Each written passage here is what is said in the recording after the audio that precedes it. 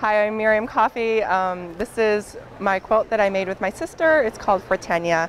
Um, it's an improvisational using 100% all solids, some hand dyed, some shot cottons, um, and peppered cottons. Um, there are about 2,000 pieces in it. There's a lot, and it's matchstick quilted.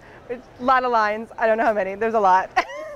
we had a lot of fun doing it. Um, it was a very long, long process, but we we enjoyed all every little stitch. So we make our quilts for people that we love, and so yeah.